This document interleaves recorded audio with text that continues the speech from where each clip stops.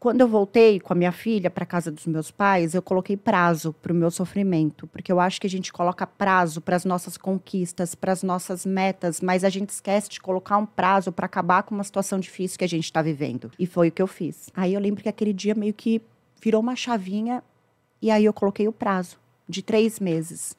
Tá, eu tô nessa situação na minha casa, da minha família, eu vou ficar três meses focada em sair daqui. E aí eu criei um plano na minha cabeça. Que responsabilidade, Brasil! Mais um episódio do podcast Saia do Rascunho. E hoje eu estou entrevistando uma mulher. Pensa quando você é super fã de uma pessoa. Aí você tem a oportunidade de ver essa pessoa. Aí você tem a oportunidade de conhecê-la e aí depois de começar a conviver com ela nos últimos 18 meses. Sim. Vocês não têm noção o que eu aprendi com Natália Beauty. Uhul! Ela que será apresentada por mim, ela sempre conta a história dela nos podcasts. Hoje eu vou resumir, porque o que eu vou pegar aqui, você aí do outro lado, com papel e caneta para não deixar nada no rascunho, faça o que precisa ser feito, porque eu tenho certeza que vai ser mais um MBA. E para completar e surpreender ela, Sim. esse Ai, em todos os episódios nós temos mapas mentais. Hoje nós vamos ter um livro digital desse podcast. Que legal! Olha! Ai, meu Deus! É o mínimo! É o mínimo. Ai. E nós vamos entregar um livro digital com tudo que ela vai compartilhar aqui com você que está nos acompanhando. Mas mesmo que venha o livro, você faz aí a tua curadoria para você sair daqui e entrar em ação rápido para impactar o teu, a tua vida, a tua carreira e o teu negócio. Tudo. Então vamos lá. Se você não concordar com alguma coisa, por favor, fique à vontade, dona Natália. Pode deixar. Da dívida aos milhões, a reviravolta do negócio, ela saiu de um divórcio, devendo 90 mil reais e com um carro com ordem de apreensão. Nossa, sim sem nenhuma formação profissional, além de cuidar de si, apreensiva por sustentar uma filha de dois anos, a solução foi trabalhar com o que ela, com o que ela conhecia: sobrancelhas. Senhoras e senhores, Natália Beauty está aqui comigo. Ela que tem uma forte presença nas redes sociais, com mais de 11 milhões de seguidores um negócio que foi construído. Como é que tu te sente ouvindo do isso? Zero. Do eu, zero! Eu tô aqui assim, ó, falando, meu Deus, calma. Do Senão zero. A gente fica, tipo, super... Numa, num grupo que fatura mais de 35 milhões por ano e Sim. recentemente se tornou sócia aí da Belo Vero, uma empresa no ramo de atuação na área da saúde. Sim, a gente está a gente tá montando hoje, Fê, um monte de coisas. A gente está montando uma agência de marketing, a gente montou uma gráfica, então, tudo para atender o grupo, mas além do grupo, eu vou estruturar todas essas empresas para atenderem outras pessoas.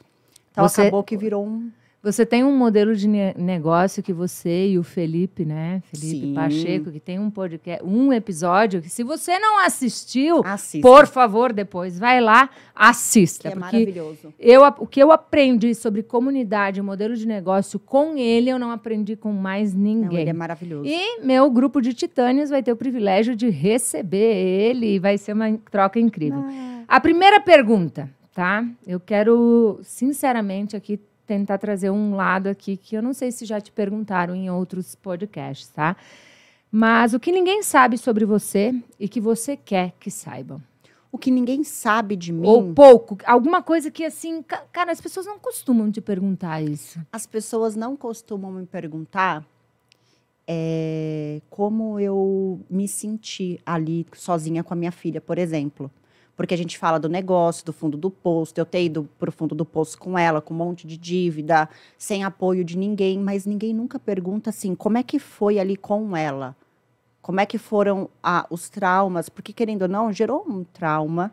Como é que foi lidar com isso com uma filha pequena? Então, quase ninguém pergunta, e o que eu acho importante, principalmente para um público feminino hoje que está buscando mais conhecimento, mais autoconhecimento, expandindo carreira, se tornando muitas mulheres empreendedoras, CEOs, executivas. Uhum. E a gente tem filhos, né? A grande maioria sabe que é complicado. Então, Quando eu voltei a morar em São Paulo com ela, eu passei uma barra muito grande com ela, com o julgamento que eu achava que a minha filha de dois anos e meio tinha comigo. Por quê? Porque eu fiquei sozinha, eu não tinha ninguém, ela perguntava do pai dela o tempo inteiro.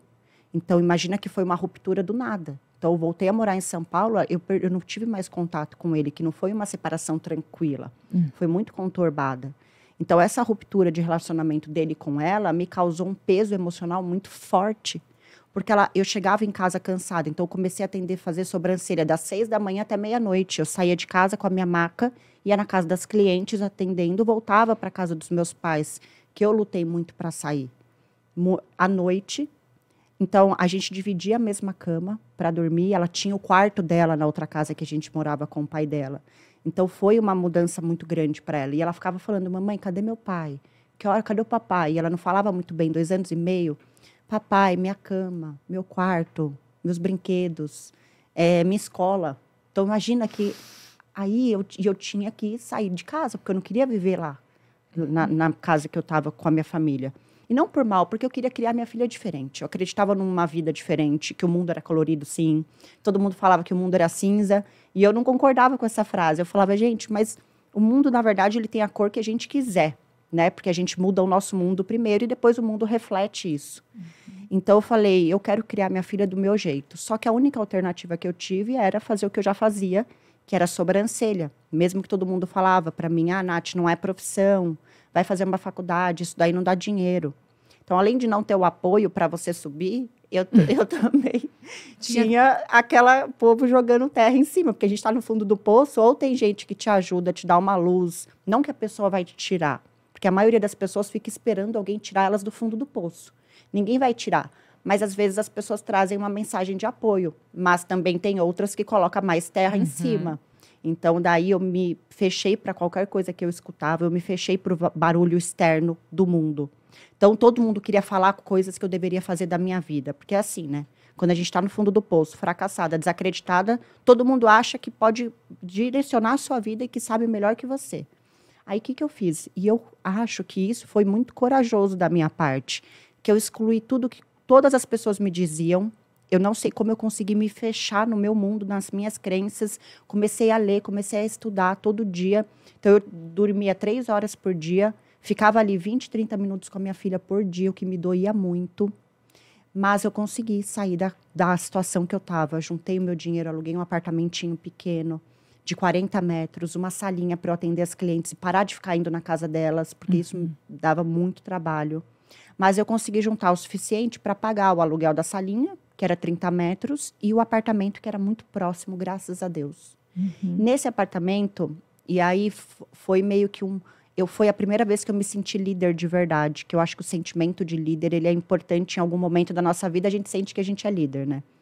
E quando eu fui morar com ela nesse apartamento sozinha, eu lembro que eu sentei assim no chão da sala e tinha um sofá rasgado, uma mesa, não tinha nada, mas eu estava tão feliz Aí eu sentei, tinha uma janelona, um apartamento, entrava uma luz no final da tarde, era tipo 5 horas, aquele golden hour bonito, uma luz entrando da janela, eu sentei com ela no chão, porque não tinha nada, tinha só um sofazinho rasgado. A gente sentou no chão, aí eu lembro que eu chorei muito. E eu olhei para ela e falei, filha, agora sou só eu e você. Somos só nós duas, e a partir de agora a gente, a gente vai ser muito feliz juntas. E só, eu fui, porque eu acho que eu contei para ela que não tinha mais o pai dela. Eu falei, somos só nós e a partir de agora somos nós juntas. E eu lembro que foi um dos dias mais felizes da minha vida, porque foi o sentimento de liberdade, a primeira vez na vida que eu senti. E eu acho que a gente tem que lembrar do momento que a gente se sentiu livre pela, pela primeira vez. Porque eu sou uma mulher que venho de uma família onde a mulher não tinha voz e não tem protagonismo, era de geração, isso é cultural. Eu depois fui para um casamento onde eu estava modelando o meu pai, então, estava me tornando a minha mãe. E muita gente não tem essa consciência, só depois de muito tempo que percebe isso. Então, eu nunca tive protagonismo, nunca fui uma mulher livre. Então, naquele momento, eu senti que tudo que eu fizesse, tudo que eu ganhasse e todas as decisões a partir daquele momento iam influenciar a minha vida e a da minha filha, sozinhas. Uhum. E foi muito forte, porque eu peguei uma força ali para passar para ela também, que fez com que eu saísse do fundo do poço muito rápido. Eu não tinha outra opção. Era só subir.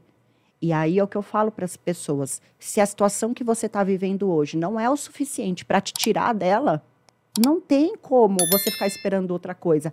A própria situação difícil que as pessoas vivem já devem ser motivo suficiente para elas quererem sair do, do lugar que elas estão. E foi o que eu fiz. Dali eu comecei a crescer, trabalhar muito, comecei a atender as clientes mais ainda, então já tinha uma demanda que começou a ficar reprimida. E uma coisa que eu acho fundamental, porque as pessoas falam, ah, mas eu também divulgo meu trabalho na rede social, eu também uso rede social, mas eu usei a rede social em 2017, a gente está falando de 2017. É, eu ia te perguntar, qual é a janela de tempo? A casa dos teus pais, chegar nesse apartamento, qual é essa janela de tempo? É, eu mudei, voltei a morar na casa dos meus pais em 2017, em janeiro. Uhum. Então eu tinha, eu aprendi a fazer sobrancelha, na verdade, em 2016 para as pessoas entenderem a linha do tempo. Uhum. Então, eu morava em São José do Rio Preto, que é uma cidade do interior de São Paulo. E lá eu aprendi a fazer sobrancelha porque uma funcionária pediu demissão. Eu nem, eu era só recepcionista, vendia pacote, eu não fazia nada da beleza, porque eu trabalhei a vida toda com restaurante. Então, eu não tinha noção de área da beleza. Mas aí, porque uma funcionária pediu demissão, as clientes ficaram sem retoque. E aí eu falei, gente, quer saber? Eu vou fazer esse curso vou aprender a fazer sobrancelha, eu atendo todos os retoques e a gente tira o serviço da clínica. Olha só qual foi a ideia inicial. Eu não tinha pensado, não, vou fazer o curso, que isso vai ser minha carreira. Não.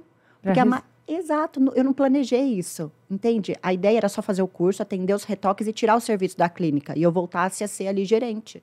Uhum. Porque imagina, eu, até eu tinha preconceito com a área. Imagina que eu vou virar uma design de sobrancelha. Eu, porque eu via isso, né? Meu pai falou que para ter sucesso era só sendo médica ou advogada. E era o que a gente ouvia da sociedade. E a área da beleza era uma área que, quando a mulher não desse certo, ela ia para estética, ou ela ia para beleza. Eram coisas que eu ouvia e que eu também achava, tá vendo? A gente paga a língua. Daí fiz o curso, fiquei um ano trabalhando lá nessa clínica, e aí me separei e voltei a morar em São Paulo em 2017. Quando eu voltei com a minha filha para casa dos meus pais, eu coloquei prazo para o meu sofrimento, porque eu acho que a gente coloca prazo para as nossas conquistas, para as nossas metas, mas a gente esquece de colocar um prazo para acabar com uma situação difícil que a gente está vivendo. E foi o que eu fiz. Você coloca prazo para o seu sofrimento? Qual é a dor que você, que está ouvindo essa mulher agora, se deu por conta que faz parte da tua vida e está te acompanhando há muito tempo. Nossa, e que você forte. precisa destravar de uma vez por todas. Eu sempre digo que se alguém conseguiu, é possível. E existe um caminho. E ela está revelando aqui. Exato, é o que eu falo. Se uma mulher conseguiu e não desistiu, já é motivo suficiente para todas as outras conseguirem não desistirem. Se uma consegue, todas conseguem. E eu acho que eu estou vendo um movimento muito bonito de mulheres se apoiando ultimamente, assim, nos últimos tempos que eu tô achando lindo. Uhum. Daí, voltei a morar na casa dos meus pais ali, coloquei prazo para aquela situação. Eu olhei no espelho para mim um dia, chorando, porque eu estava sofrendo, né? Ainda eu estava muito abalada. E eu olhei no espelho e falei: "Você nunca mais vai passar por isso, Natália. Nunca mais". Parece que eu eu conversei comigo ali na frente do espelho como se eu fosse a minha terapeuta, mas muito sincera.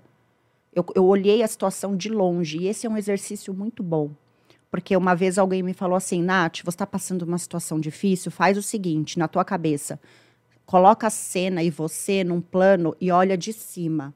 Observa o que está acontecendo na sua vida como se você fosse um filme. E seja sua melhor amiga. Qual conselho você daria para sua melhor amiga, que é você, que está vivendo a dificuldade hoje? Isso deu um estralo em mim que eu comecei a observar a minha vida de longe e aí eu consegui pensar na, como se fosse minha melhor amiga para me dar conselho.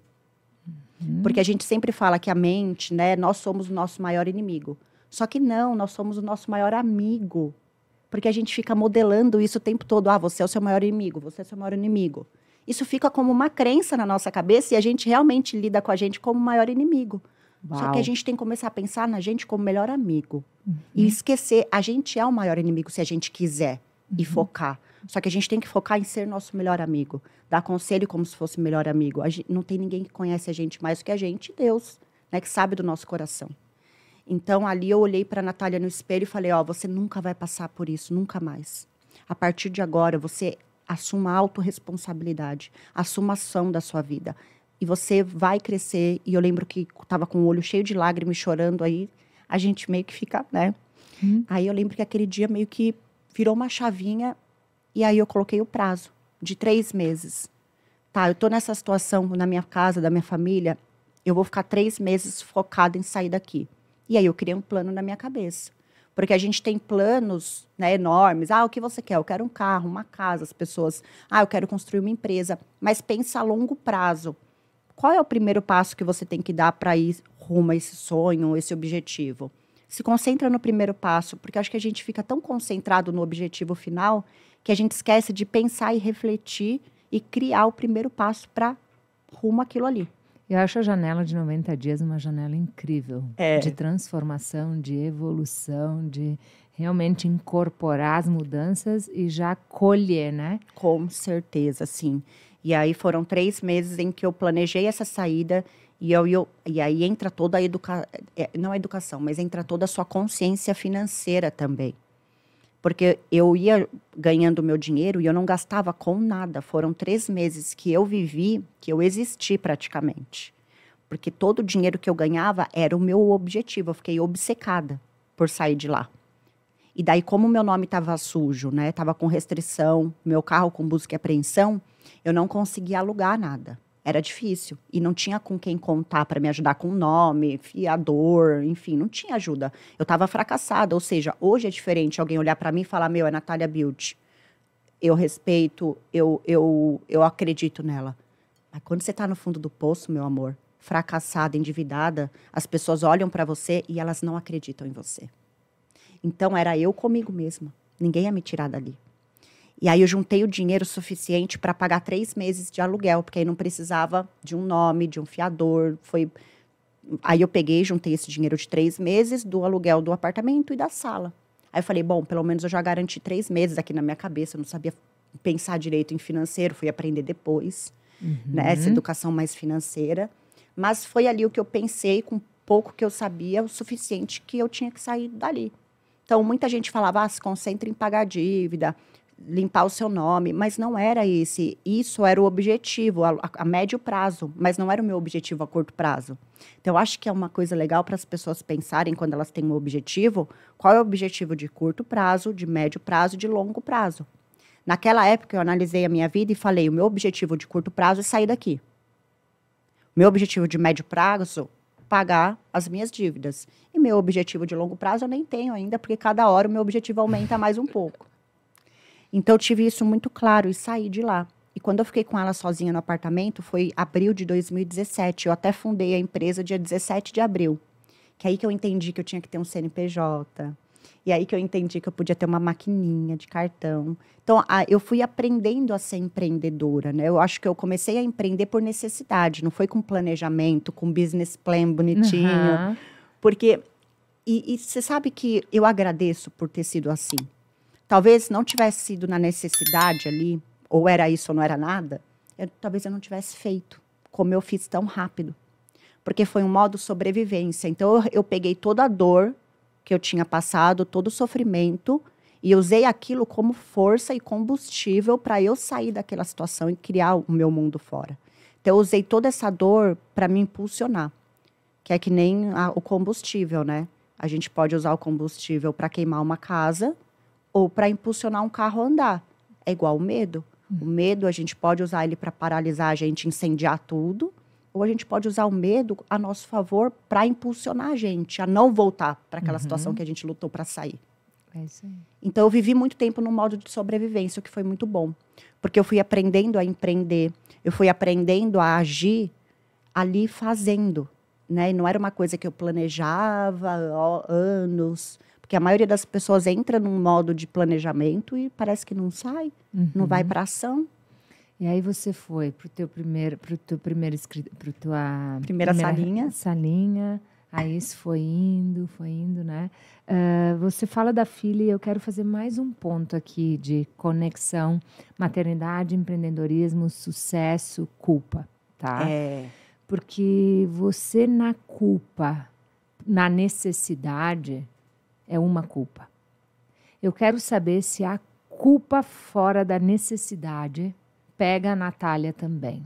pega. Por exemplo, É, tu- eu- nós conversamos nos bastidores sempre. Eu sempre digo: olha, eu levo seis, sete horas para chegar.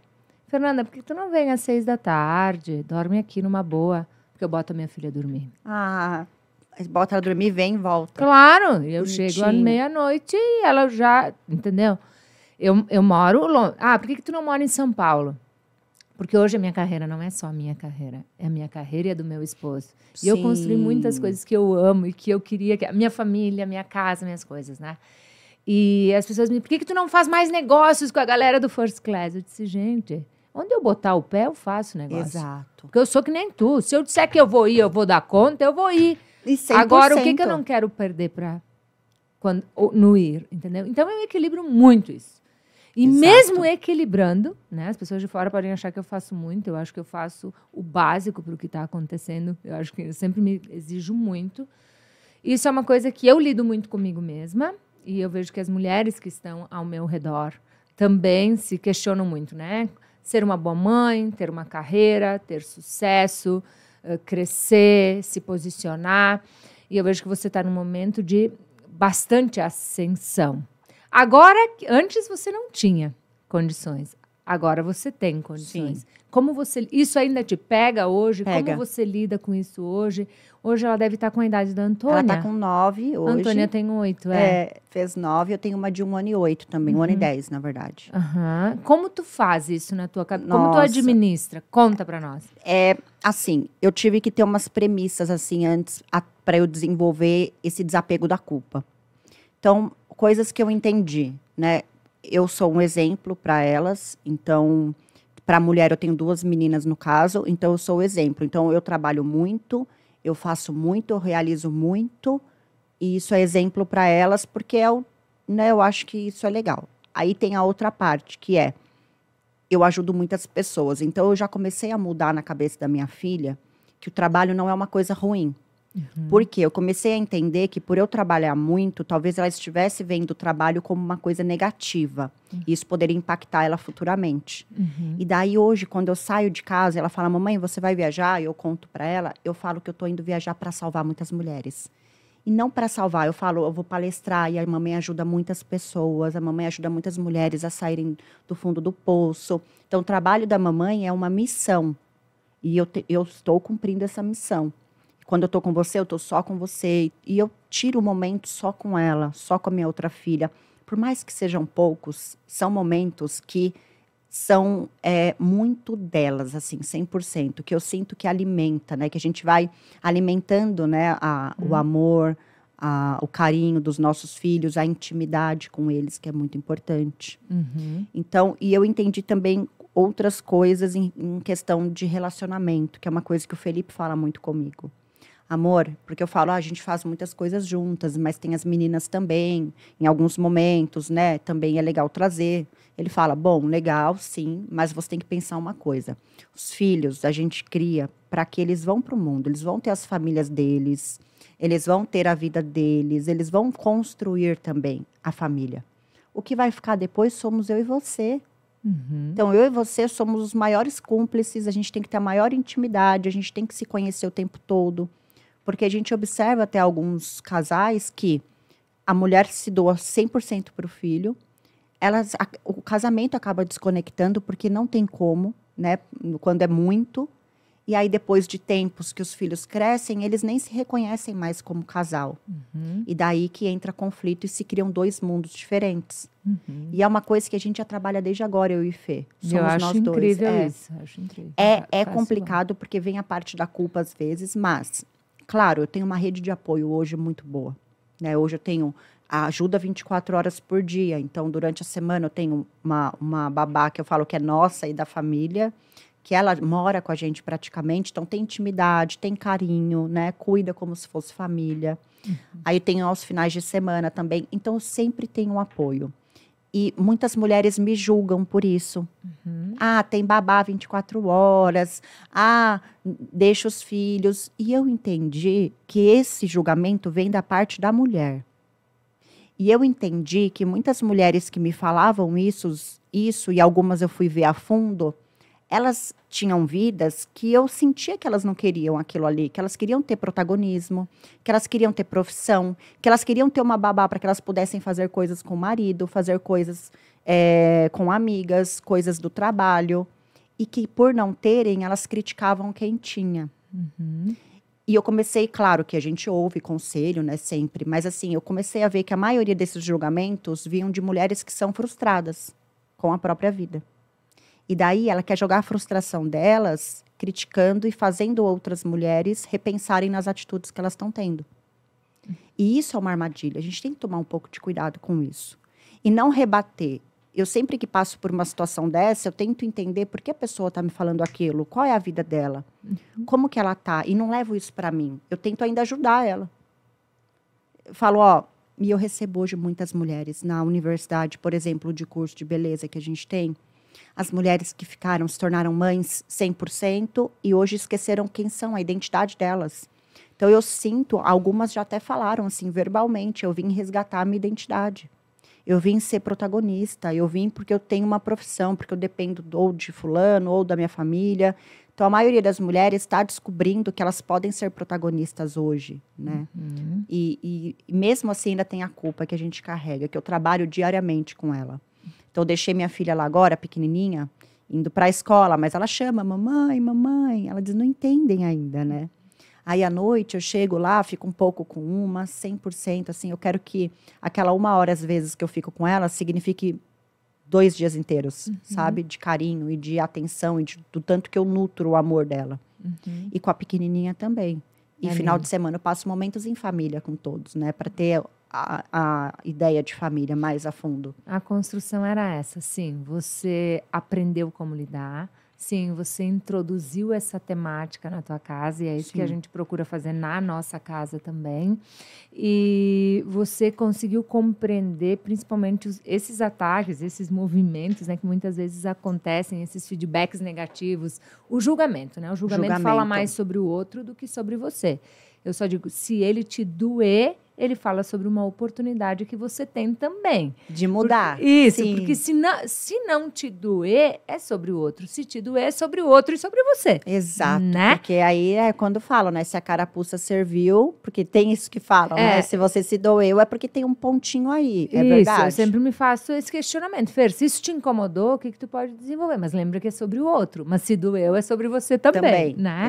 Então, eu, Exatamente. eu quis te perguntar isso, porque as pessoas olham de fora, às vezes, é muito fácil, É né? muito fácil. E julga, né? É, e a gente precisa, se quer evoluir, se quer crescer, se quer construir algo diferente, se quer faz, deixar um legado, você vai ter que aprender a enfrentar isso. É. Porque essa é a primeira reação. Ninguém reconhece indigente. É. Ninguém critica quem não se posiciona. Ninguém aponta quem não faz. Então, Exato. tudo que vem, vem porque está sendo feito algo, né? Exatamente. Então, esse é, esse é um caminho. Veio o caminho da Natália, veio o crescimento, veio a evolução, veio o desenvolvimento. Os primeiros desafios que tu teve depois que você. Porque eu imagino que as pessoas olham, assim, né, para você e pensam assim: tá, mas como ela fez os primeiros 100?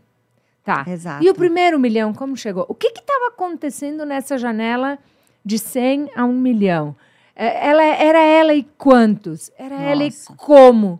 Quando ela viu que ela precisava de mais gente? Quando, quando ela arriscou pela primeira vez um pouquinho mais? Porque eu tenho certeza que nessa minha pergunta, e se você que está aí nos assistindo, nos ouvindo, se identificou, diz, é essa pergunta, Fer.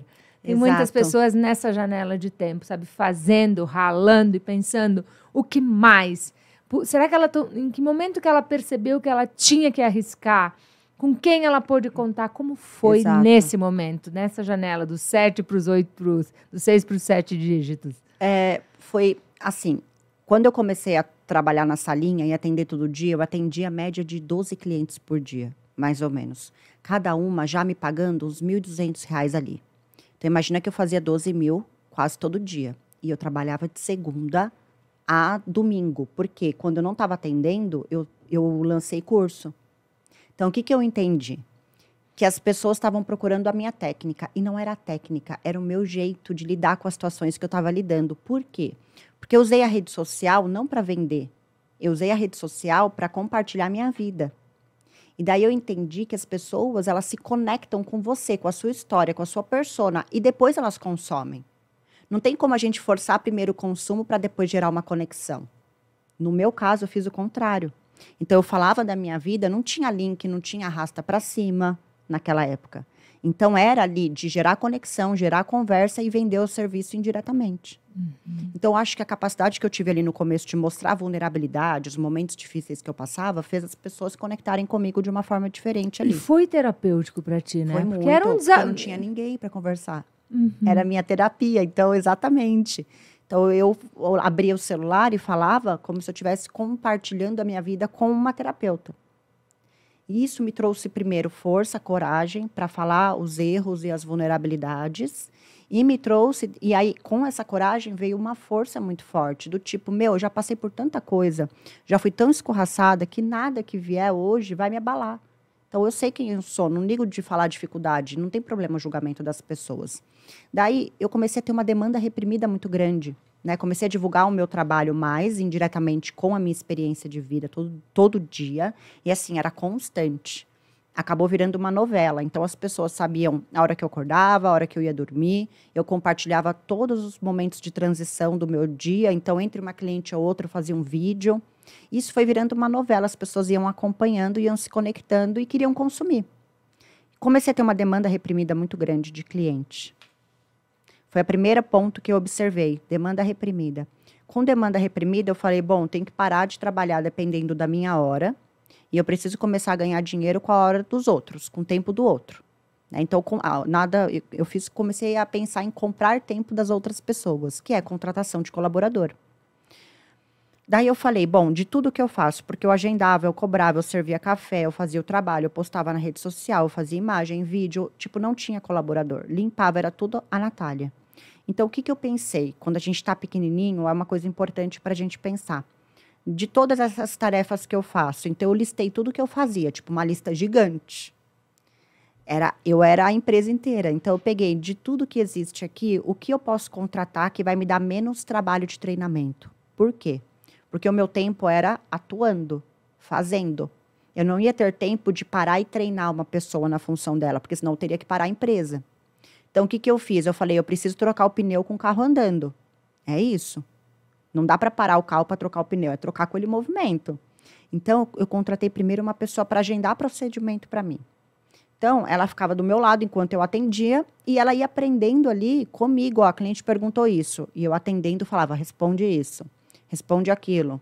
Ela quer um horário aqui, não mostra facilidade no horário. Não deixa ela achar que ela vai escolher o horário dela. Dá três opções e não tem mais horário. Mostra escassez, senão a pessoa não valoriza. Então, eu já ia passando isso para ela e ela ia agendando e eu tirei isso do meu tempo. Então, eu consegui atender mais pessoas. Depois, era uma mão no serviço e a outra. E o ouvido é, também. Ah, e falando. Então, era boca, ouvido e mão. Tudo ao mesmo tempo com coisas diferentes. Olha que loucura se a gente parar para pensar. Daí eu comecei a pensar, preciso contratar profissional para fazer o que eu faço. Daí eu contratei, no, na época era até minha ex-cunhada, é, porque assim, no começo você não tem como um RH. Não espere muito planejamento, porque eu não tinha como contratar um RH para contratar uma colaboradora. Eu não sabia nem que era job description naquela época. Uhum. Então era muito de contratar, vem aqui que eu vou te ensinar fazendo. E daí eu contratei essa minha ex-cunhada e ela começou a me acompanhar nos meus atendimentos e treinar. E ela se desenvolveu, uma artista maravilhosa. E daí eu comecei a dar curso e trazer pessoas para dar o curso para mim também. Então, eu, eu já, já tinha esse raciocínio de equipe. Uhum. Então, eu, aí eu comecei. Aí veio a artista para me ajudar a fazer trabalho. Aí ela começou a fazer os meus retoques primeiro. Então, teve o treinamento em pele sintética. Eu chamava ela para ver o que ela faria. Comecei a treinar de forma mais agressiva, assim, não de agressiva, mas treinar de forma mais intencional. E daí ela se desenvolveu, começou a atender também. Eu comecei a lotar a agenda dela. E eu falei, meu, olha que legal ganhar dinheiro com o tempo dos outros. E não é ruim, dando oportunidade, mas fazendo a empresa crescer. Aí eu pensei assim, falei, cara, legal. Comecei a pensar lá na frente. Tô trazendo profissionais para atender com a minha técnica, tô, tô dando curso, tô. Mas isso qualquer um pode fazer. Qualquer uma profissional que vai ver esse meu modelo de negócio, de fazer curso, técnica, produto, montar equipe, atendimento, venda, RH, vai poder copiar igual. Uhum. Então, a partir de agora, que a marca cresceu agora, o que eu tenho que fazer que vai ser impossível as pessoas copiarem? A marca. Então, a marca, eu sempre investi na marca, mesmo que no começo ela fosse só eu. Então, sempre tratei a empresa como uma marca, o tempo todo. E daí eu criei um nome diferente para a técnica Flow Brows, de sobrancelha, que as pessoas já faziam, mas eu aprimorei. Eu coloquei o meu jeito de fazer com as minhas crenças sobre beleza, de sobrancelha principalmente, e criei uma técnica diferente. E depois que eu criei essa técnica, eu falava dela todo dia. Todo dia eu falava o nome dela. Ai, Flow Brows, Flow Brows. Eu ia na praia, eu desenhava uma sobrancelha na areia e escrevia Flow Brows. Então, de todas as formas que eu pudesse é, reforçar na cabeça a técnica. Então, as pessoas já ligavam, ah, quero fazer a Flow Brows. Não era mais sobrancelha. Então, criei ali uma marca dentro da, da marca principal, que é a Natália Beauty.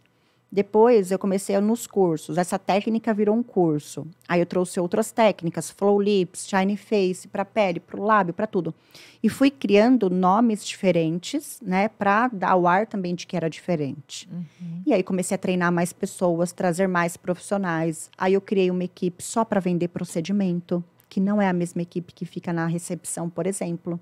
Porque a maioria das- das pessoas pensa, ah, mas a minha recepcionista vende agenda e faz tudo. Não. O que, que eu entendi lá no começo? Que eu tinha que ter uma recepcionista que só cuidava das clientes presencial e que eu tinha que ter um atendimento só para agendar o dia todo, que não ia ficar com distração na recepção. Então, já separei equipe de atendimento, de agendamento, de venda, para o atendimento presencial, que era a recepção. Aí eu criei um setor comercial de curso, só para vender curso, uma equipe que só executava curso. Então, na minha cabeça, eu já fui criando os setores dentro da empresa sem saber nada de gestão.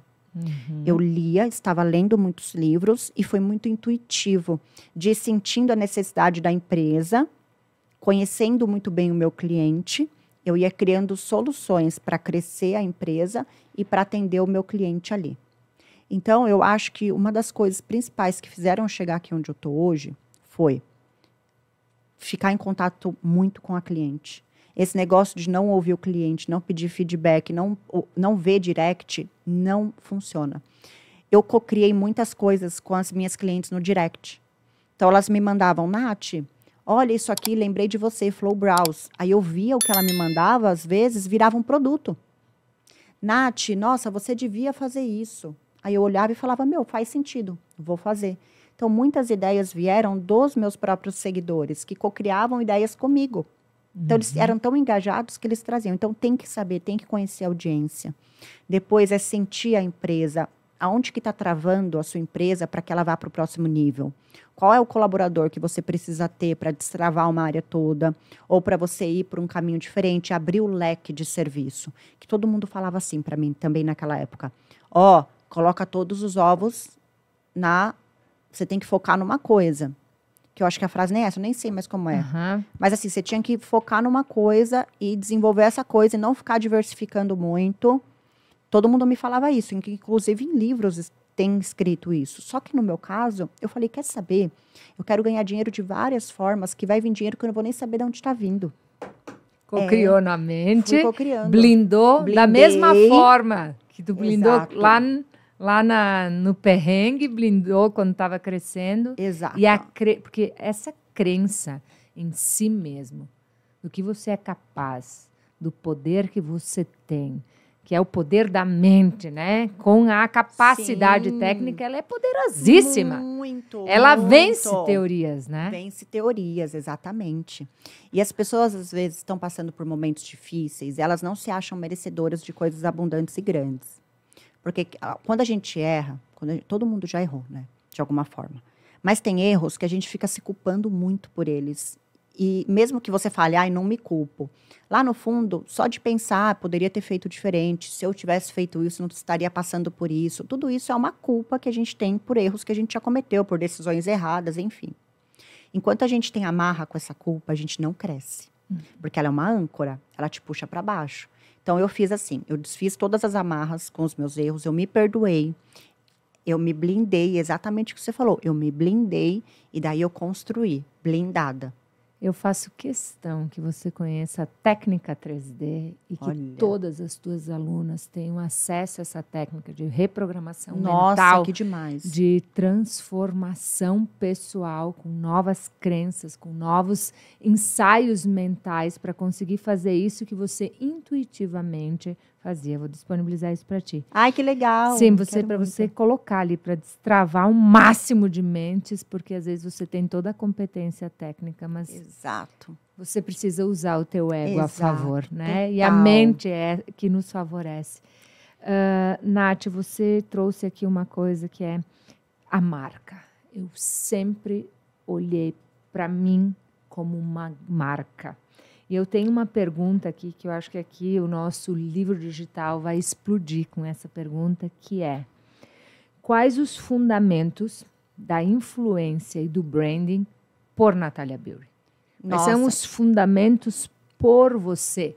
Eu Criando, falo- influenciando a ciência, porque para mim você é uma das pessoas que trabalha melhor isso não só no país, no mundo, Sim. tá? Eu não conheço ninguém, eu tô aqui assim como uma pessoa que te assiste, olha e pensa, cara, essa mulher pensa em tudo. Início, meio e fim. Sim. Onde, para onde? Porque tem duas perguntas aqui. Onde ela olha? Como ela mantém esse negócio, essa inspiração, essa visão, essa coisa dentro dela acesa? Então eu quero botar, eu quero que saia desse podcast os fundamentos de Perfeito. Natália, científicos, de Natália Beauty, na Per- prática. Perfeito. Ó, tem uma coisa que é um método que eu falo de branding, que depois, olhando tudo, claro que tem vários fundamentos, se a gente for ver, mas para mim, o que funcionou no meu branding é um método que eu chamo de NATICE, até.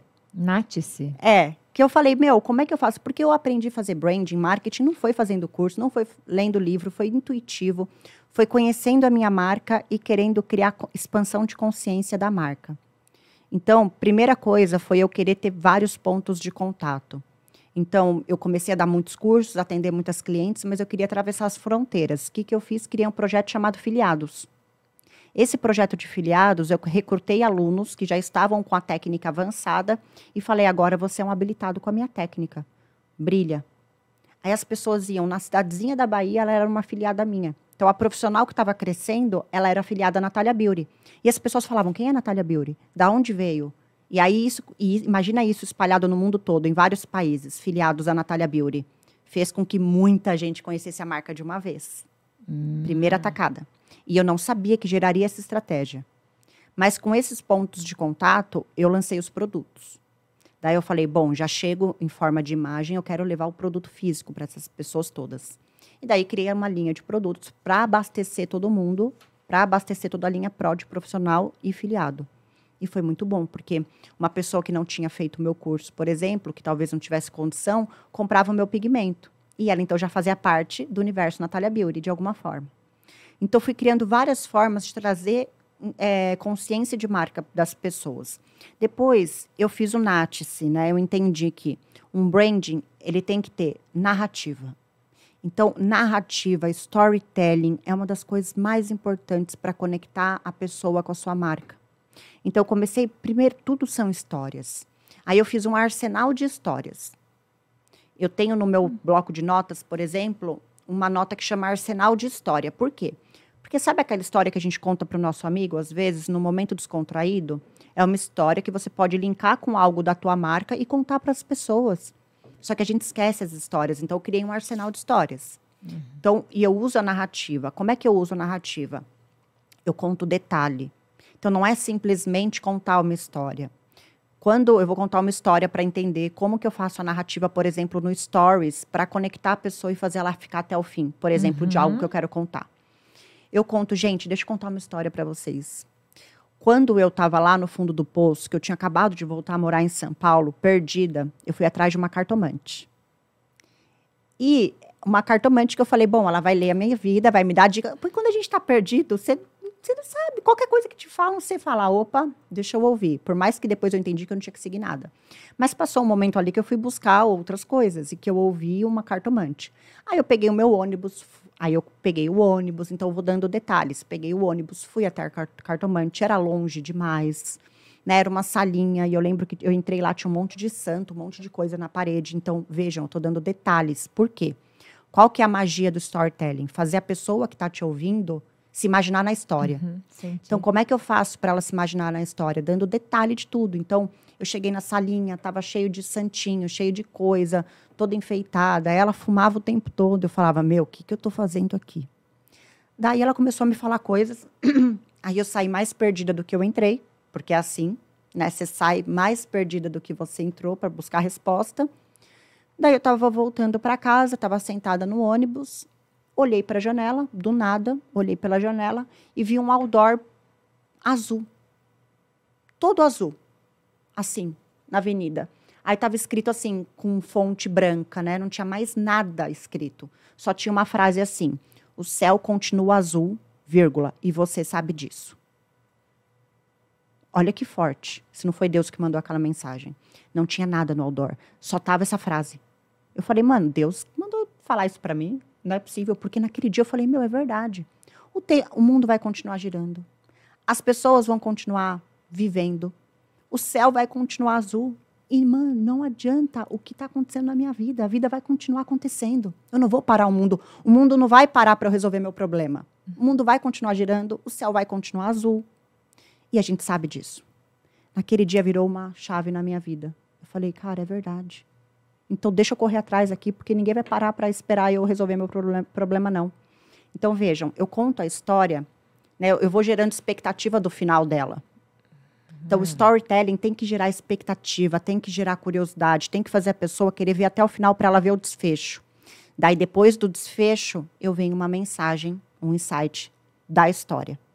Então, a história não pode ser contada única, só a história. Ela tem que ter elementos, ela tem que ter detalhes, ela tem que fazer a pessoa se sentir parte da história, tem que fazer a pessoa ficar curiosa pelo desfecho e, no final, você trazer um insight. Storytelling, gente, contem de forma lúdica. Contem sem usar palavras difíceis, porque 90% das pessoas têm uma linguagem simples e ok, e é isso mesmo.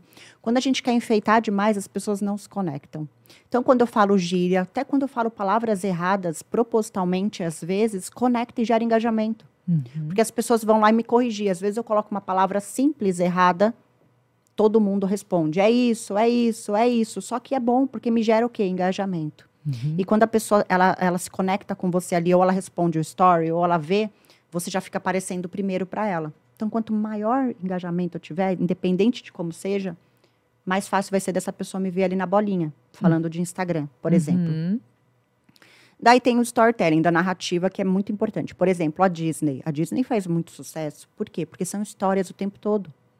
Histórias vendem. E aí, numa história dessa que eu contei agora, eu finalizo falando que a- o mundo não vai parar para a gente resolver os problemas, que ela, ano que vem, ela vai se arrepender por talvez não ter tomado uma decisão hoje. Como é que vai estar ano que vem, daqui a um ano? Você vai olhar para o dia de hoje. Não era melhor você ter tomado algumas decisões?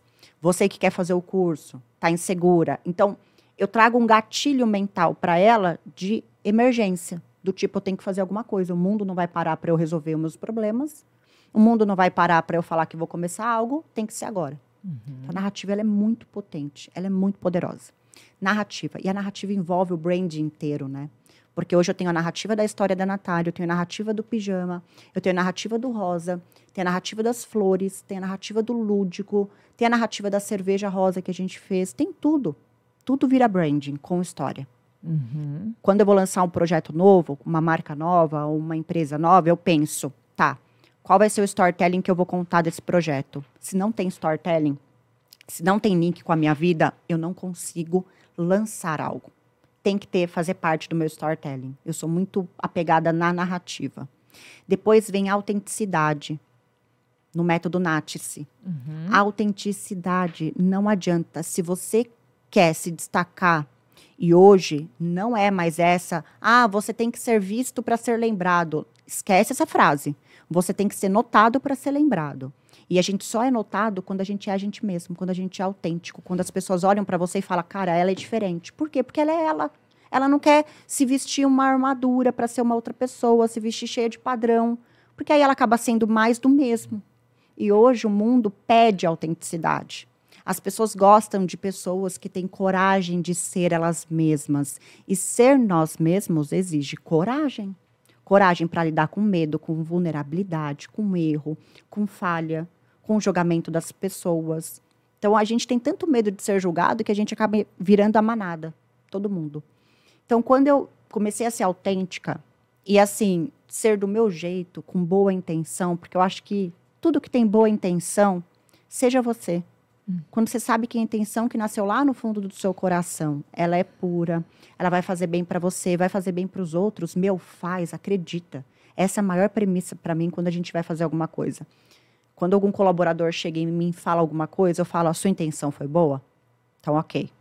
Se a intenção é boa, não tem problema. Às vezes acontece alguma coisa, muda alguma coisa no meio do caminho, mas se a intenção é boa, ok, vai e faz. Então, a autenticidade, ela conecta as pessoas, porque as pessoas querem pessoas corajosas. Uhum. E a autenticidade na narrativa, a autenticidade, por exemplo, de ter usado rosa, acreditado no rosa na empresa, naquela época não era tão legal. Era uma coisa que não trazia credibilidade por ser rosa. Então, as flores em tudo também foram coisas intuitivas e autênticas. A sala, por exemplo, quem vai na empresa hoje, ela vive experiências lá lúdicas diferentes. Por exemplo, ela vai no banheiro, tem uma plaquinha na porta escrito Sala do Alívio. Cara, é uma placa, porque é verdade, o banheiro ele é um alívio. Você vai no banheiro uhum. lá, você se sente aliviado. Então eu comecei a trazer meio que para a placa, falando de placa de porta, na empresa, eu comecei a trazer a sensação para o nome da placa. Então, qual a sensação que a gente tem ao ir no banheiro? O que ele causa? Alívio. Então, virou sala do alívio. Quando a pessoa vai lá fazer um procedimento, é uma mágica, ela fica mais bonita. Então, sala da mágica. Aí, de curso, na universidade, a sala de aula, sala da transformação. Ou sala do é, duendes e fadas, que é onde só entra colaborador. Eu não sei o mood que eu entrei. É, eu, eu ia dizer, onde é que, de onde vem tanta inspiração? Cara, para onde você olha? Quem te inspira? Então, deixa eu te falar uma coisa. Sabe que eu entendi? Que o segredo da criação, né, da criatividade, está em sermos crianças. Uau! Criação e criança. Por quê? Porque a criança, ela é livre, ela não tem julgamento, ela não tem padrão, ela não tem medo. É a gente que vai colocando ao longo da vida dela os nossos medos, as nossas frustrações, as nossas crenças. Mas ela é livre e corajosa. O que, que eu fiz? No meu fundo do poço, eu me resgatei com a Natália da Essência. Sabe aquela criança que vai vestindo os padrões? Então, eu meio que rebobinei a fita da minha vida me peguei lá em alguns momentos da infância para resgatar a Natália, lúdica, criativa, cri... porque toda criança é criativa. Porque ela não sabe das coisas ainda todas, então ela cria coisas diferentes. Aí eu comecei a me resgatar com essa essência e eu entendi que eu tinha que despertar nas pessoas a criança delas. E que se fazendo isso, eu ia gerar uma memória afetiva nela poderosíssima. Então, tem estratégias para despertar a criança nas pessoas. Um exemplo o cheiro que mais lembra a infância, isso é comprovado, é cheiro de terra molhada. Então, tem essência de cheiro de terra molhada. As plaquinhas, sala da fada, da mágica, é, volta à infância, porque a gente em algum momento parou de acreditar na magia da vida. Então, as pessoas lembrarem que existem fadas, duendes, claro que depende da, da imaginação de cada pessoa, mas eu trago num sentido bonito, da, da magia mesmo, do bem. Então as pessoas elas se conectam ali com a essência delas e a criatividade vem muito disso. Então, por exemplo, o pijama, que as alunas vestem todas o mesmo pijama, traz a sensação de sala de aula, de uniforme escolar. Uhum.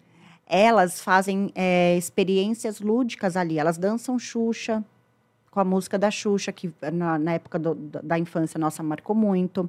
Elas fazem cartas dos sonhos, elas enterram o papel para enterrar o medo e nascer o sonho, que é uma florzinha, é um papel de semente. Olha essa dinâmica que linda. Uau, essa Chama é... florescer.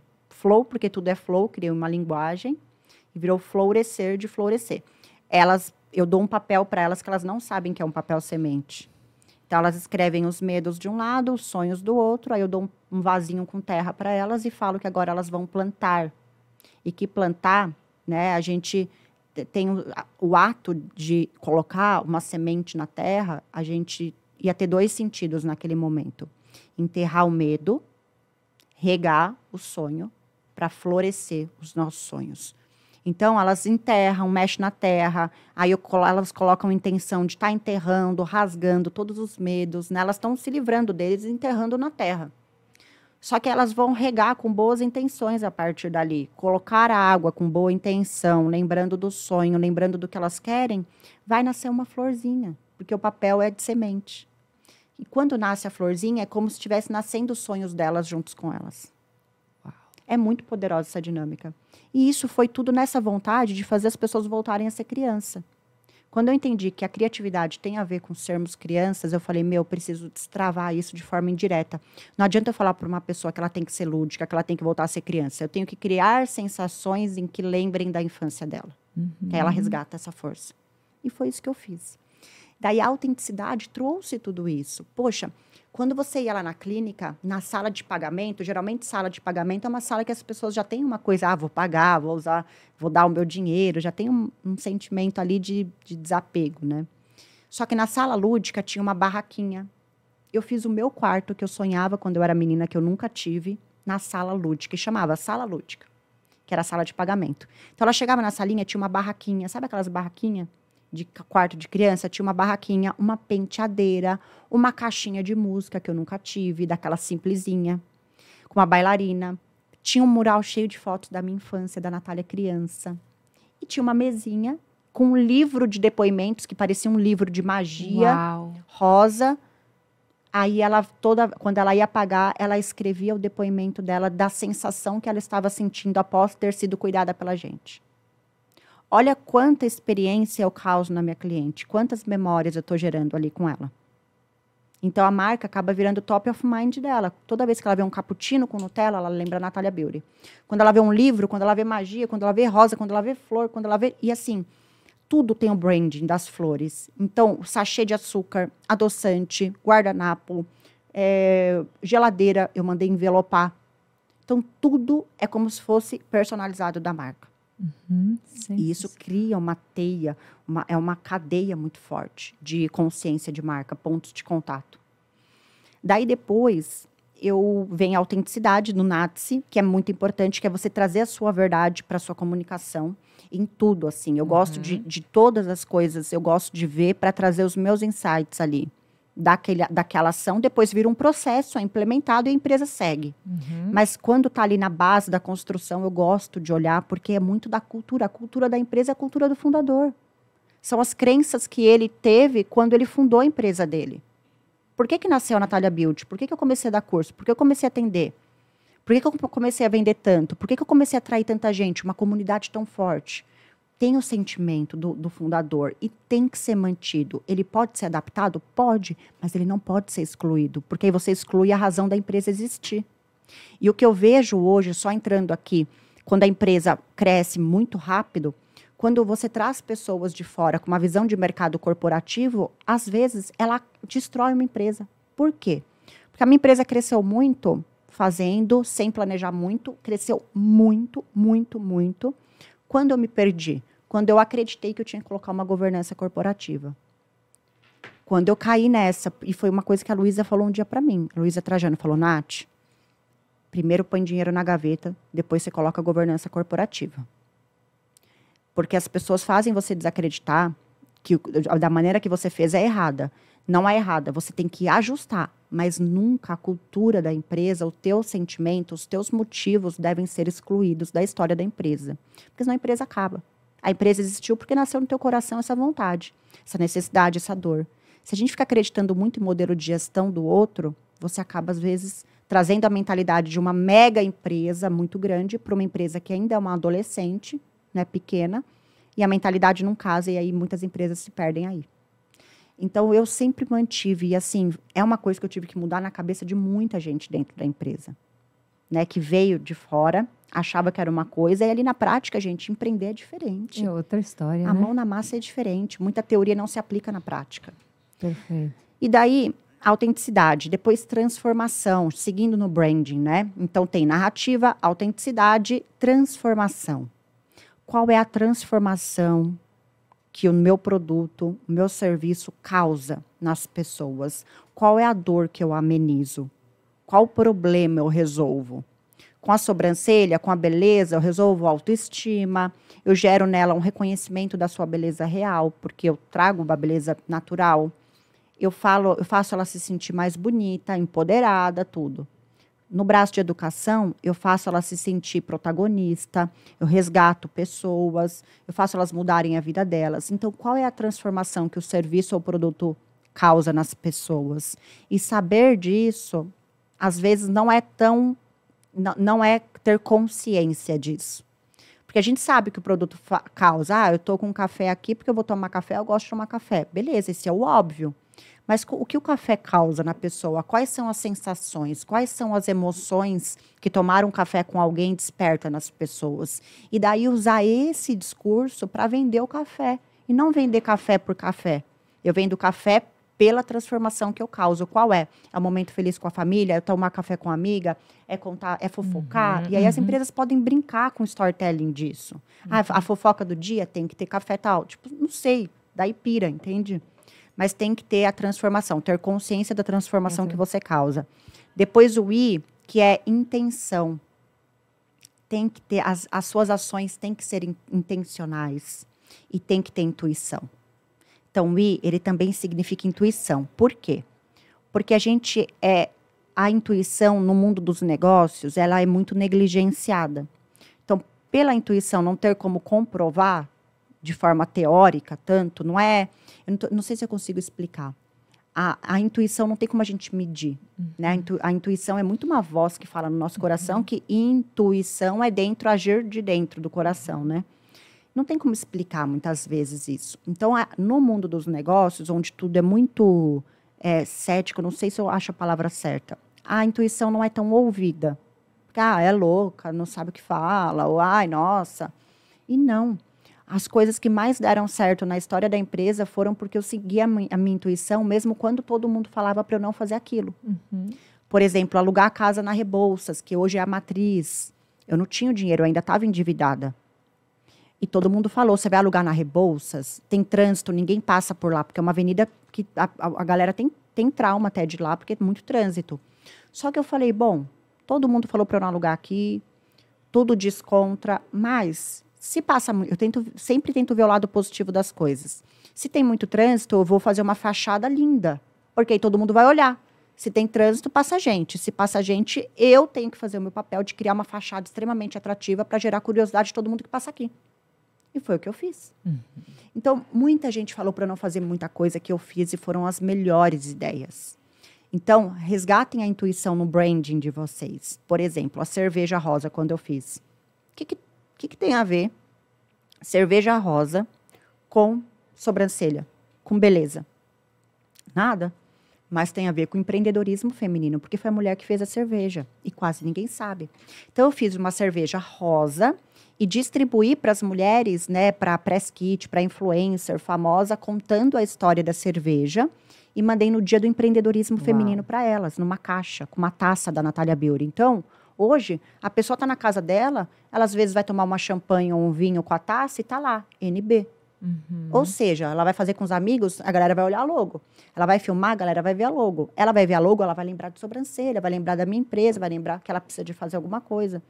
Então, fui criando, e foi tudo intuitivo. Tudo. Não foi algo que alguém veio falar. Então, a intuição ela tem que ser resgatada principalmente na comunicação, nas ideias. E branding tem tudo a ver com ideia né, a mensagem da marca que a gente passa.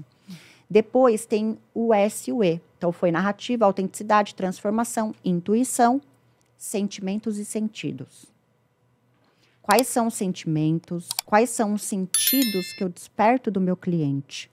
A gente só gera uma memória afetiva quando a gente desperta, no mínimo, três sentimentos do nosso cliente. Por quê? Hoje a gente faz tanta coisa o tempo todo que a gente esquece tudo. Virou tudo muito automático. Então, dificilmente algo no nosso dia marca a nossa memória. Se eu perguntar o que a gente comeu ontem, a gente tem dificuldade para lembrar um pouquinho, porque tem que pensar. Às vezes nem lembra e passa. E a gente acumula tudo isso num compilado uhum. na nossa memória. Sabe? É tudo igual, a gente almoça tal, vira um compilado. Quando em alguma experiência eu desperto três sentidos ao mesmo tempo, eu tenho peso suficiente eu tenho atenção plena dela suficiente para gerar uma memória diferente das outras. Uhum. E daí, o cérebro dela vai lembrar de mim de forma diferente, muito mais rápida. Aí então ela entra na empresa, ela já sente um cheirinho que eu desenvolvi uma identidade olfativa, que já é única. Ela toma o cappuccino com Nutella, que já é diferente. Ela ouve uma música de acordo com cada dia da semana, que eu faço as playlists para segunda-feira, para terça-feira, para quarta-feira, para quinta e para sexta. Então, ai, Nath, mas como? Sexta-feira a gente está no mood mais animado, não tá? Uhum. Então eu coloco uma musiquinha não tão melancólica. Não é um eletrônico, mas é tipo uma musiquinha um pouquinho mais animada. Então já tô no mood com ela. Na segunda-feira, mais melancólico. Mais melancólica a playlist também. Então eu fico pensando qual a sensação do meu cliente nesse dia e eu vou surpreender ele, ele nessa sensação. Aí tem o visual, que eu também já capturo ali com as flores, com rosa, com lúdico, com magia, coisas que ninguém faz. Então, quando eu já desperto três sentidos dela, pronto, já gerei uma memória afetiva. Então, na minha mensagem, no meu brand, no meu marketing, nas minhas ações, qual é o sentido, qual a sensação eu vou despertar no meu cliente? E a gente só consegue despertar sensações sendo humano, verdadeiro, criando conexão. E não só querendo vender, vender, vender, vender. Porque hoje todo mundo quer vender tudo. É o que eu falo. Nas mensagens lá de chatbot, lá que vai automático para os clientes, para os leads, que eu falo que, gente, lead é cliente, pô, é um humano que está ali. Para de tratar lead como se fosse um robô. Aí eu, esse lead entra, eu me sinto até desconfortável falar de. Esse cliente entra na minha esteira ali, né, no nosso universo, pode ser que ele não compre naquele momento. Em vez de as pessoas já pensam assim, vou criar uma ação daqui um mês, vou mandar uma mensagem oferecendo um design e tal. Não, gente. Não. Manda daqui 17 dias, por exemplo, uma mensagem para ela assim: Oi, não importa o que você esteja passando, lembre-se que a vida é muito maravilhosa e que você merece ser feliz todos os dias. Nós, da Natália Beauty, queremos te lembrar isso. Só. Só. Não vende nada para ela. Não vende. Não vende. Não vende. Você está lembrando ela que a vida é maravilhosa. Talvez ela esteja passando num momento difícil, e todo mundo está passando um momento difícil. Sempre tem alguma coisa que a gente está ajustando, que a gente está com um desafio ali, trabalhando ele. Então, receber uma mensagem dessa sem intenção de venda faz com que ela admire a marca. Que ela fale, poxa, essa marca tem alma, essa marca tem coração, essa marca tem verdade. Ela está preocupada com o ser humano e não só com ser caixa dela. Entendeu? E isso traz as pessoas. Eu desperto nela uma emoção de empatia. É o gatilho, né? A sementinha da gratidão que a gente tem que plantar nas pessoas o tempo todo. E daí eu gero sentido, sentimento. E depois vem o E, que é a experiência. Né? Quando eu ativo tudo isso, qual a experiência também que o meu cliente tem? Quais são os pontos de contato que o meu cliente tem comigo? A partir da rede social, é o- quais são os pontos de descoberta do meu cliente? Pô, ele me descobre atrave- através de uma influência, através de um podcast, através disso, daquilo, daquilo. Mapear quais são as possibilidades de ponto de contato. Depois de mapear, você pensa qual a experiência que as pessoas estão tendo com você ali. Então, qual a experiência que a pessoa tem no meu site? Eu vou olhar o meu site como se eu não soubesse nada da minha marca. É como se eu desvestisse todo o meu conhecimento de Natália Beauty, ficasse neutra por um momento e fosse analisar as minhas redes, o meu site, para entender se estava coerente, se dá para entender o que eu faço. Porque às vezes entra tanto no automático que a gente acha que todo mundo sabe o que a gente faz. E aí a nossa comunicação não fica tão óbvia. E o óbvio tem que ser dito. A gente quer fazer o não óbvio, que é legal, né? Só que aí muita gente querendo fazer o não óbvio tá deixando de fazer o óbvio. Só que se a pessoa chega na tua marca e ela não sabe o óbvio que você faz, meu, não adianta você querer enfeitar. Então, os pontos de contato, a experiência do meu cliente ali comigo em todos os pontos. No WhatsApp, quais são os pontos de contato? Em curso, presencial, e eu fui mapeando. Eu tenho oportunidade de capturar o meu cliente em todos os pontos de contato. Então, por exemplo, o meu serviço de valet. Meu, tem treinamento. É diferente, o menino abre a porta, todos abrem igual. Todos vão levar o cliente igual. Tem a mão certa que direciona. Tem a pergunta certa. Tem a forma que ele encaminha ela para a clínica ou para a universidade. Como é que ele pega o carro dela. Então, tudo isso é padrão. Porque excelência não é acaso, excelência é padrão. É processo testado, implementado. Seguido, acompanhado e medido. Porque não adianta, a maioria das empresas fala, ah, já fiz esse processo, mas não implementou, que é diferente. A gente criar o processo, implementar dá trabalho, porque você tem que implementar e fazer o teu colaborador lembrar daquilo por um tempo até que gere, fique automático. Tem que ter nutrição de treinamento, tem que ter nutrição de cultura, tem que ter reforço, né? Reforço de cultura, de treinamento, de lembrar as pessoas por que, que elas fazem aquilo na sua empresa. O tem que lembrar o tempo todo. Então, isso reflete no cliente. Porque se o nosso colaborador não sabe o que a gente faz, e já aconteceu quando eu estava aprendendo a empreender, porque é um desafio diário. Eu ouvi uma, um, um, um, um meu manobrista falou para uma cliente que ele não sabia o que a gente vendia. A culpa não é dele, a culpa é minha. Se eu não fornecer um treinamento para ele, para ele entender sobre a marca, não adianta chegar nele e falar: "Pô, você não sabe o que a gente faz?" Ele tinha que me responder: "Não, você nunca me falou." Tipo, é óbvio, às vezes a gente acha que as pessoas têm que saber o que a gente faz. É por isso que eu tô falando, o óbvio tem que ser dito. Uhum. Então vem cá, olha o que a gente faz. É isso, isso, isso. A gente gera essa transformação e o teu papel, a tua importância é essa. Então sempre mostrar para as pessoas o quanto elas são importantes para que aquilo aconteça. E aí eles refletem para os clientes todos, em todos os pontos de contato. Então quando a gente vai num lugar que a gente acha que o valet não é legal, o valet lá é muito legal. Não é, não dá trabalho. A gente facilita. Quando a gente acha que a recepção ou que uma, a copeira não vai ser tão legal, que vai ser um, um atendimento comum, não. A copeira, ela, todo mundo sabe o nome dela. Ela sorri com os olhos. Ela, as outras, porque aí ela se torna líder do setor, né? A mais antiga se torna líder, né, de direcionamento e treinamento das outras. Então, nessa minha jornada de crescimento da empresa também, uma coisa legal é que eu fui identificando nas pessoas a capacidade que elas tinham de ensinar para outras pessoas o que elas faziam. E aí eu criei uma gestão descentralizada, ou seja, eu tenho lá a pessoa que é coordenadora de curso, coordenadora de pedagogia, pedagógico, tem a da copeira, tem a da limpeza, que são responsáveis né, por manter a ordem do setor conforme vai crescendo o número de pessoas embaixo delas. Então, isso é muito legal. E daí. Eu, e daí eu falei que ia fazer, que isso ia gerar um livro digital. É, eu nunca falei do Natsi, né? Assim, podcast. Assim, tu nunca falou? Nunca nem contei do método. Porque é exclusivo de palestra, quando eu vou falar de branding, né? Porque todo mundo traz elementos do branding, mas é tudo muito teórico. Tem que trazer a linguagem simples para a galera entender e aplicar. Sensacional. Tu não tem noção do que eu já anotei aqui e eu vou aplicar. E eu vou te provar. Eu quero ver tudo. Vou, vou. Sim. E vou te provar e vou levar o teu o e-book digital desse podcast. Vai ser o primeiro da história de Saia do Rascunho. Que legal. Para o maior número de pessoas. Nós sempre traduzimos em Olha, mapas. Que legal. E nós vamos traduzir esse podcast no primeiro e-book digital de um podcast. Isso então, aí. E aí, qual que é agora? Agora, o grande segredo da galera que pegou todas essas Isso. chaves é trazer esses elementos para a criação de conteúdo. Porque imagina que você pega tudo isso e afunila para a criação de conteúdo. Então, como é que eu vou criando o meu conteúdo para ele ser viral, por exemplo? Eu entrei agora numa, numa, numa crescente de engajamento muito forte. É como se a gente furasse, tivesse furado a bolha. Estourou. Estourou a bolha. Não furou, estourou. É, estourou a bolha. E aí agora. E aí eu comecei a aprender algumas estratégias aplicadas, né? Então, por exemplo, de story. Coisa simples, tá? Então, muita gente fala assim para mim, ai, Nath, como é que faz para para galera ver o story e às vezes reagir, fazer alguma coisa. Meu, eu comecei a fazer um negócio onde eu coloco uma foto, uma foto X, qualquer uma pode ser, de manhã. Aí eu coloco alguns emojis bem escondidinhos. Eu diminuo o emoji e coloco. Aí eu coloco, ache o emoji do dia. Age o, emo o primeiro emoji que você achar vai definir o seu dia. Me conta qual é. Olha as duas coisas que eu gero fazendo essa ação. Eu faço tempo de tela.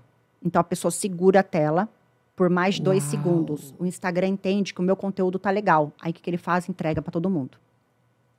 Então, tempo de tela. Depois eu gero interação, porque todo mundo quer procurar e mandar o que achar. Então, meu, até o pessoal, às vezes, que me ajuda a cuidar da rede social, fala, meu, para de botar esse emoji, porque só sobe mensagem de emoji. A gente, tipo, ele fala, eles falam, não aguento mais responder emoji. Eu falo, gente, isso é estratégico. Vamos lá, vou continuar fazendo. Aí outra coisa que eu faço, caça-palavras. Tem um site que monta caça-palavras. Aí você entra nesse site, você coloca as palavras que você quer, ele já monta uma imagem de caça-palavra para você. Aí Deixar para mim. Eu já pego e já coloco lá. Aí a pessoa fala, qual, qual a palavra do seu dia? Aí todo mundo para, procura a palavra e lê. E, e aí isso acaba se tornando um pouco de gamificação. E hoje, né, gamificação até na empresa, com os colaboradores, é uma coisa que eu tenho olhado muito. Depois tem outra estratégia de story, que é pergunta, caixa de pergunta. Então eu sempre falo que caixa de pergunta tem que ter três stories. Primeiro, antecipando. Então, gente, vou pôr uma caixinha de pergunta, é, preciso da ajuda de vocês para tal coisa, enfim, antecipa. Faz uma antecipação. Depois a caixinha de pergunta e depois o terceiro pedindo para a galera voltar para fazer a pergunta. O que, que eu entendi? Que quando eu comecei a postar logo em seguida da caixinha de pergunta uma foto qualquer e falando volta lá e, faz a sua pergunta, aumentou 80% o número de pergunta. Por quê? Aí fui pensar. As pessoas vão pulando story, né? E é meio automático, tá? Todo mundo faz isso. Então tem que chamar muita atenção para ela parar. Uhum. Quando ela chega na última, que é a caixinha de pergunta, o dedo dela já está tão viciado que a maioria das pessoas, às vezes, passa a caixinha de pergunta, ela termina o story, só que ela não quer voltar tudo para até fazer a pergunta, ela desiste. Então, quando eu coloco um, um, outro story ali em seguida, ela vai ver e vai falar: opa, quero fazer a pergunta. E já só volta um story e faz a pergunta. Então, eu entendi que a minha taxa de, de pergunta aumentou muito e gera assunto, gera conteúdo. Uhum. As perguntas que as pessoas fazem geram conteúdo para gente. Perfeito. Então tem muitas, assim. Eu falo também da regra dos dois segundos. Todo vídeo. Todo Cara, vídeo. a tua agência de marketing vai ser um estouro. Né? Vai ser um estouro. Porque é, isso é muito intuitivo. Porque, não, isso é muita estratégia. É, e você faz. É, da prática, de quem Como diz faz. nosso amigo Joel J, ela faz, mata a cobra, mostra, mostra ela morta, morta, e ainda ensina sem medo. Exato. Ensina, doa. Sensacional. Mata a cobra e mostra a cobra morta. Né? Mostra né? morta. Não é? Gente, se você. Esse, esse episódio, no mínimo, tem que te ajudar a fazer vezes o quê? Uns dois, três, dá para crescer mais, muito, dá pra né? crescer muito, ir pro digital. É um, é um podcast que dá pra pessoa assim sair e aplicar em 30 dias aí, ó. Eu tenho Exato. certeza que tu vai. É insight É, de 10, 20, concentra. 30k. Coloca, não. Vamos fazer assim, ó. Você vai escrever, eu não sei onde você está assistindo. Você teve insight que valeu quanto aqui? 5K? Nossa. 10K? 50K? Nossa. Valeu quanto o insight que você teve aqui? E depois volta e prova para nós É. que valeu mesmo, porque eu vou provar. Isso. Eu vou voltar e vou E provar. E, tem. quem assistir conosco e, e pegar o e-book, mas não vai esperar o e-book, ele vai vir em breve, Sim. em velocidade máxima. Mas já vai sair, vai fazer algumas ações. E quando fizer essas ações, Conta. vai ma- marcar a Natália, vai marcar a Fernanda e o podcast Saia do Rascunho. Porque aqui é sobre propósito. E a gente tem que honrar, sabia, Fê? É, Tipo assim, aprendi alguma coisa naquele podcast, honra. honra. Honra, porque a gente, quando agradece, quando a gente aprende a agradecer, a vida traz pra gente em dobro. Então, fez sentido pra você, cara, honra. Honra. De- a gente produz conteúdo todo dia, vocês não sabem o Honra. trabalho que dá, o quanto a gente. Eu penso assim, cara, respeitem o conteúdo das pessoas. Porque ninguém sabe o que rola por trás do bastidor para um conteúdo sair ali, para ajudar aquela pessoa, para a gente ensinar alguma coisa, para a gente compartilhar alguma coisa. Sensacional. E assim, compartilha para as pessoas que elas conhecem, né? Se ajudou elas também. E fala pra gente, tipo, olha, o que você falou fez muito sentido na minha vida. Por quê? Porque vocês dão força pra gente continuar ajudando outras pessoas. Uhum. E não tem essa de competição, de concorrência. Ninguém concorre com ninguém, gente. Perfeito. A última pergunta, pode? Pode. Eu fiz pergunta que ninguém te fez, então. Nossa, esse do Nats eu nunca contei, assim, só é exclusivo do MIB e do. Sim. A última, ali, ó, direto ao ponto. O que você não faria? O que você não faria? Se você fosse começar do zero, o que você não faria? Em uma palavra. O que eu não faria, ouvir os outros. Ouvir crítica de quem não construiu nada. Tá dado o Que- recado. Não, crítica construtiva, né? Porque crítica, ok, mas ouvir crítica construtiva de quem não construiu nada, de quem, tipo. Tipo, não ouçam. Vão e façam. Não fique esperando o outro te falar o que você tem que fazer, porque a gente já sabe o que tem que fazer, a gente às vezes tem preguiça. É sobre isso. É, tem que fazer sobre. Gratidão, Nath! Amei!